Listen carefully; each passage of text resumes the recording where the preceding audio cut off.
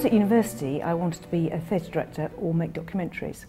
Um, but when I uh, went to the Edinburgh Fringe at the end of my second year, I thought I was more interested in quite directly um, addressing social issues, but I still wanted to argue and persuade people. And I came across someone who was doing a law conversion course and thought that sounded interesting, so I applied. I do think I faced obstacles as a woman early in my career. I think it's something that when I came to the bar, it was almost a code of honour for women to say, no, I face no obstacles and do come and join me. I think it's quite important to admit that there were obstacles. And I think because of my upbringing, I didn't really notice them for a while. I thought I'd been brought up to be equal with my brothers. I went to a mixed sex school. I'd been told I could do whatever I wanted to do. And suddenly to find that there were people who, perhaps not overtly, perhaps not even consciously, but did find me uncomfortable or different because I was a woman, um, was, was quite a shock. And I, and I think it took me a while to realise that that, what was, that is what was going on. An example was doing a case um, abroad uh, when I was a junior um, with a QC um, who told me that other members of chambers who did, for example, planning inquiries had said they wouldn't use me as a junior on a case um, because their wives might feel uncomfortable about it. Um, or being aware that there were clients who I wasn't offered, and I was offered different kinds of work from um, the, the, the men who were taken on at the same time as me.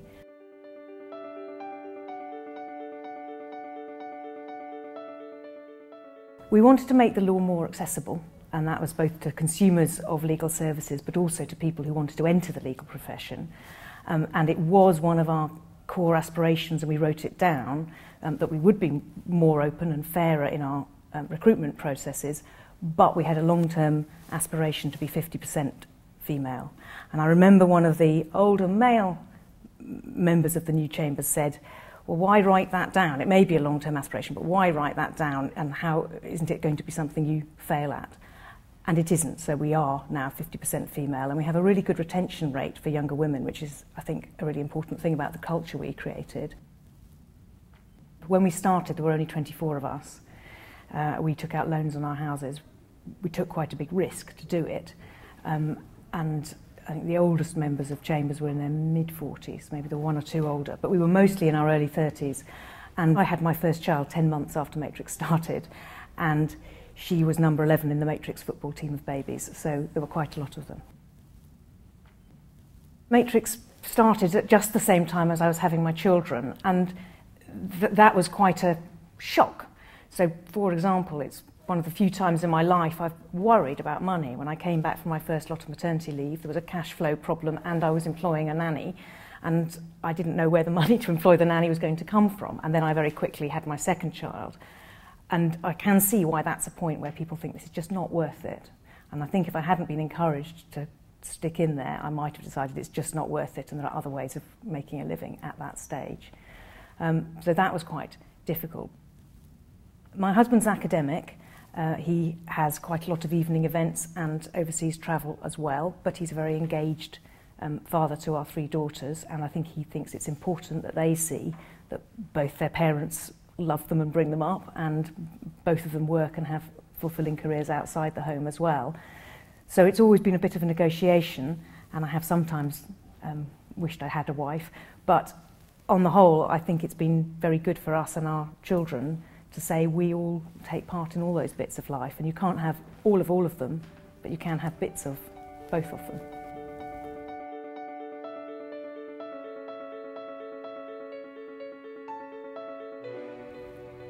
I do think it's important there's a critical mass of women in the legal profession now, still not enough, partly because there are more visible women and it doesn't feel as if women in the system are strangers quite as much as it did. Um, But I don't think we've gone nearly far enough. And I do think the language of the courts is very male. I still think um, women have a rough deal. There are stereotypes about women as uh, advocates and as um, parties in litigation. And they haven't gone away. And until recently, I thought that the, the history of women's rights was a history just of progress. And we had to push the progress, but that's the way it was going. Um, I have three uh, daughters, two of them are teenagers, one of them's 11, and I am starting to worry that the world they are living in is more misogynistic and more difficult in some ways um, than the world uh, that I grew up in. Um, I think there are great challenges with the vast um, reservoirs of porn on the internet, for example, and, and the, the sexual images that they are expected to conform to and cope with. And the way that that informs boys' ideas about what women are like and what they want. I worry about that. Um, and I worry about the way that the um, austerity and the inequality over the last few years that have grown over the last decade or so affect women um, and girls more than men. But at the same time, they are being brought up with aspirations and an expectation that they should be heard and they should have a role in life. And I think all you can do is, is try to encourage girls um, to expect a voice.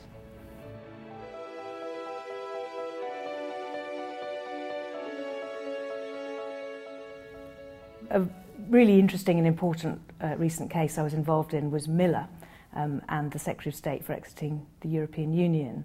That was the case that happened straight after the EU referendum when the government said they were going to notify the EU of their intention to leave. And a number of people challenged that and said um, that it was for Parliament to give uh, the executive permission to do that. So it was a really important constitutional case. And it was also very high profile because it was televised and it enabled a lot of people to see how the Supreme Court worked. It was also important for me because there were 55 barristers involved in that case, of whom three were women. And apart from Baroness Hale, um, who uh, was the only female member of the Supreme Court at that time, I was the only woman to speak. Um, and that seemed to me very shocking. There were four governments, all four nations of the United Kingdom were involved. Um, the government of England and Wales uh, had six barristers instructed, none of them was a woman. There was only one um, non-white barrister involved in that case, uh, Manjit Gill, and he too was for a claimant party. One of the things about the Miller case um, that I think is important is that it did bring to the surface a lot of things that perhaps were already there but people didn't know about. So the assumption that your safe pairs of hands are white men, um, if you're a government lawyer, um, that was something that uh, you couldn't see necessarily, but it came to that case and people looked at it and thought, really? That's a bit shocking.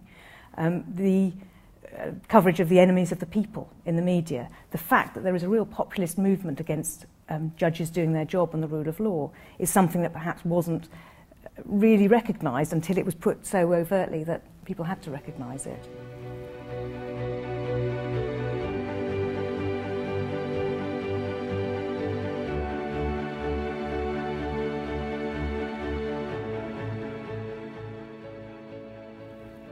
Mansfield was a college that was founded in the 19th century to uh, widen access to Oxford for people who couldn't go there.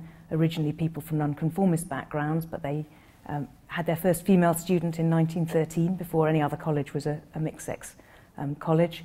And they now um, are very good at widening access for um, people from state schools and um, black minority ethnic students in particular. So it's a very open-minded place.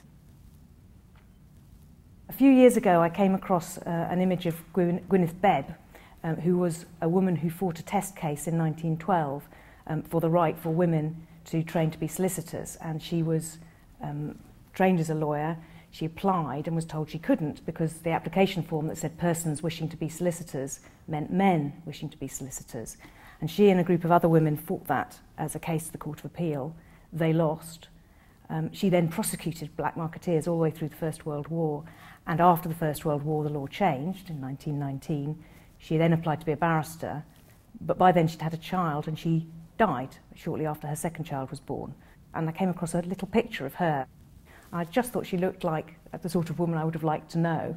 Um, and I thought what a struggle she'd had and how hard she'd worked and how she hadn't actually achieved what she wanted. But it was because of her challenging the norms of her day that women like me could have the careers we had.